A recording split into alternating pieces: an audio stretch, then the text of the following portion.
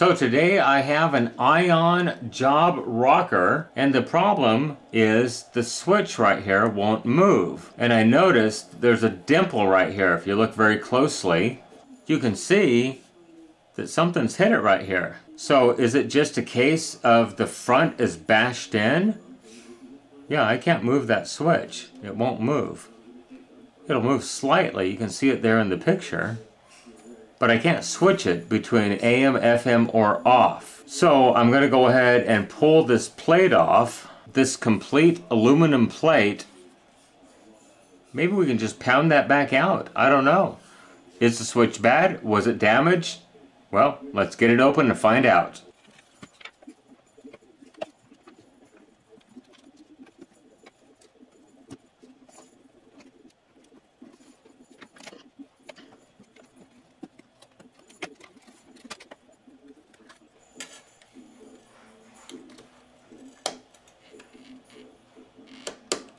Oh, the switch is still hard to work.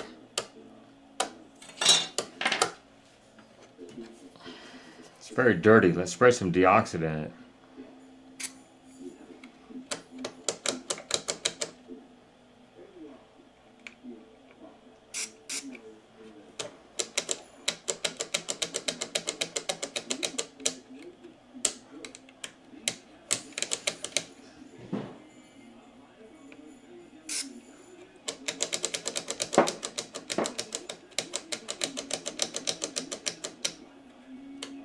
That's much better. Huh, we'll clean off the display, although that didn't do much. Get some glass cleaner on here. It's still pretty bad shape, but still there's a large dimple here, so I'm going to go out and pound it flat, and hopefully that will help the situation. Okay, so I've got this pounded out perfectly flat now, no dimple whatsoever. So let's see if I can get it to reattach to the front of the unit okay. It's got to go up under the screws, there it is.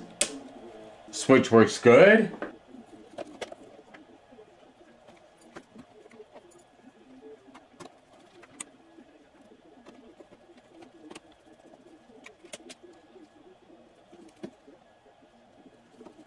There we go. Let's see if we can get this to go back in the little hole here. There we go. Perfect. Put the knob back on it.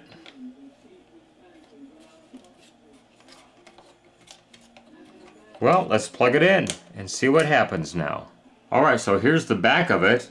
When I went to turn it on, it tells me it's got a low battery. Oh, there it goes. Fully charged. Huh.